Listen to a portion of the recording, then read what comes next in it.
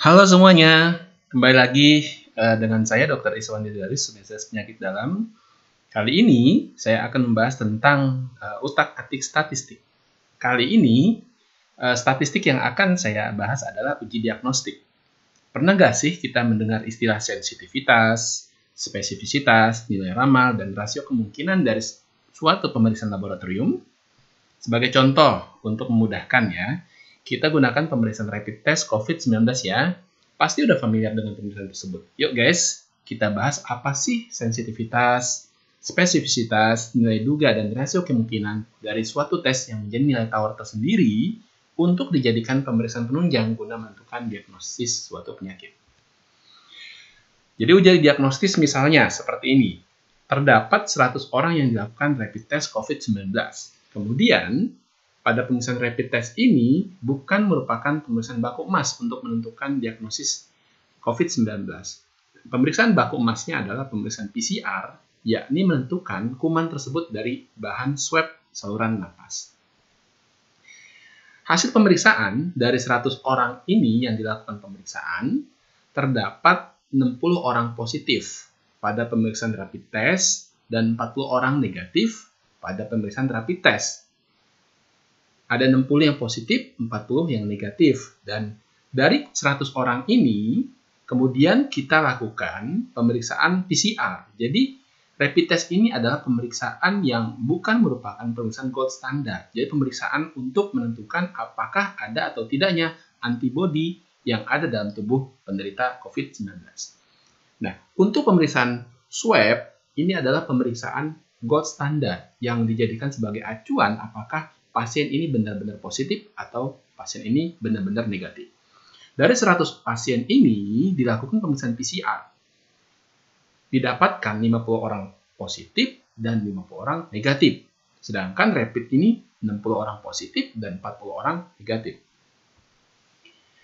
Kemudian dari hasil pemeriksaan didapatkan yang benar-benar positif.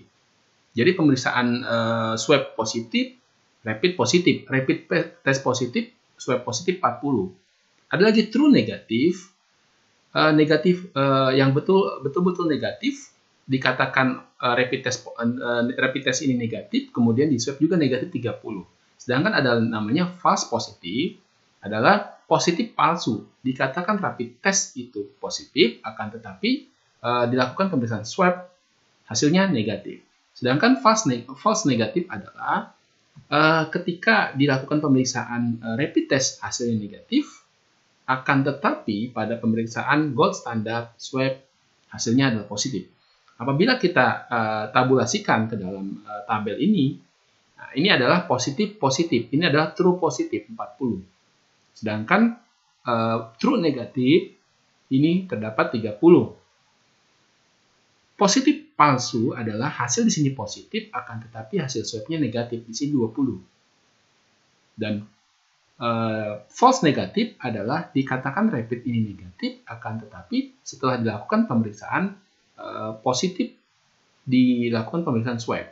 Jadi ada beberapa uh, kasus di mana pasien ini rapid testnya ternyata positif akan tetapi dilakukan swab negatif.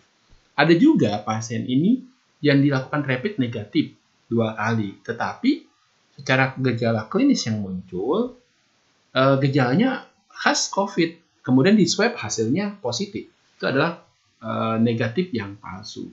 Yang bagus adalah ketika swab positif uh, dari hasil rapid test yang positif dan rapid test negatif kemudian dibuktikan oleh swab akan negatif. Nah, kemudian kita bahas tentang sensitivitas dan spesifisitas. Kalau sensitivitas ini adalah kemampuan tes untuk menunjukkan individu mana yang menderita sakit dari seluruh populasi yang benar-benar sakit. Jadi eh, sederhananya yang sakit dibilang sakit. Nah, yang sakit dibilang sakit. Jadi positif di rapid dan di positif di swab dibanding dengan seluruh positif di swab. Jadi 40 bagi 50. Itu adalah nilai sensitivitas. Yang bagus adalah kalau 100%, positif di sini 100, kemudian negatifnya 0, di sini 100. Jadi 100 per 100 ini 100%. Kan tetapi pemeriksaan tersebut mendekati gold standard, sangat sulit sekali. Nah, sensitivitas adalah 40 dibagi 50 hasilnya 80%. Jadi pemeriksaan uh, rapid test untuk menentukan uh, untuk untuk menentukan diagnosis uh, COVID-19 adalah 80% sensitivitasnya. Sedangkan spesifisitas adalah pemeriksaan kemampuan tes untuk menunjukkan individu mana yang tidak memiliki sakit dari mereka yang benar-benar tidak sakit. Jadi yang sakit, eh, yang sehat dibilang sehat. Gitu. Jadi sensitivitas itu digunakan untuk memisahkan pasien yang benar-benar sakit. Sedangkan spesifitas ini adalah pemeriksaan yang memisahkan yang sehat, benar-benar sehat. Pada pemeriksaan ini dapatkan 30 dibagi 50 adalah 60%. Jadi yang negatif benar-benar negatif dia.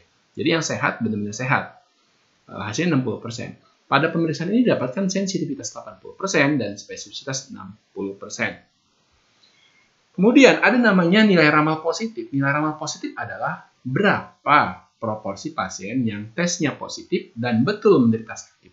Jadi yang positif di ramal positif ternyata eh, betul-betul menderita sakit. Dengan kata lain, jika tes uh, seseorang positif, berapa probabilitas dia betul-betul menderita sakit?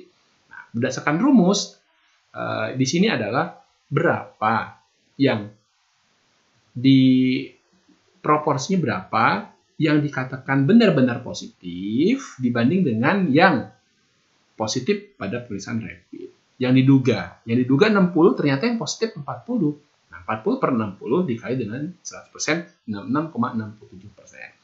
Sedangkan nilai ramal negatif adalah proporsi pasien yang tesnya negatif dan betul-betul tidak menderita sakit bisa juga dikatakan jika tes seseorang negatif, berapa probabilitas dia betul-betul tidak menderita sakit. Jadi eh, pembagiannya adalah yang negatif dibagi dengan rapid test yang negatif. Jadi eh, rapid test negatif berapa dibanding dengan eh, rapid test negatif berapa yang dibuktikan dengan swab, kemudian dibagi dengan rapid test yang negatif 30 per 40 sama dengan 75 persen.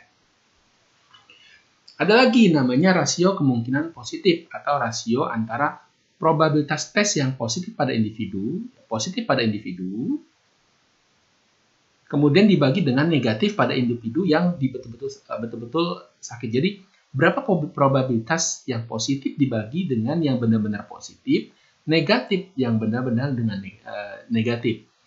Ini pemeriksaannya adalah 40 dibagi 50 dibagi 20 eh, per 50, 92. Yang baik adalah uh, lebih dari satu. Jadi dengan kata lain, likelihood ratio atau um, rasio kemungkinan positif menunjukkan berapa kali kemungkinan hasil tes positif terjadi pada kelompok populasi yang berpenyakit dibandingkan dengan hasil tes positif pada kelompok populasi yang tidak berpenyakit. Kemudian ada lagi namanya pemeriksaan rasio kemungkinan negatif. Yang mana rasio ini adalah uh, rasio antara probabilitas hasil tes negatif pada individu yang berpenyakit, ya ini ya, 10, probabilitas berapa, kemudian dibanding dengan yang negatif, yang benar-benar negatif. Jadi 40 dibagi 50 dibagi 30 dibagi 50. Kemudian dengan kata lain likelihood rasio negatif atau rasio kemungkinan negatif menunjukkan berapa kali lebih jarang sebuah hasil tes negatif terjadi pada kelompok yang berpenyakit dibandingkan kelompok yang tidak berpenyakit. Jadi rasio kemungkinan negatifnya ini adalah 10 dibagi 50 dibagi 30 bagi 50 sama dengan 0,33. Nah, untuk pemeriksaan rasio kemungkinan negatif ini yang baik adalah dia menjauhi angka 1. Jadi semakin kecil dia semakin baik. Jadi 0,33 ini uh, cukup baik. Jadi untuk menentukan berapa yang yang negatif betul-betul uh, dibagi dengan yang hasil negatif. Jadi kesimpulan eh, pada penjelasan kali ini adalah uji diagnostik yang digunakan untuk screening penyakit lebih baik yang memiliki sensitivitas yang tinggi. Namun, untuk melakukan pemeriksaan lanjutan guna menentukan keakuratan diagnosis penyakit diperlukan uji yang memiliki spesifitas yang tinggi. Terima kasih.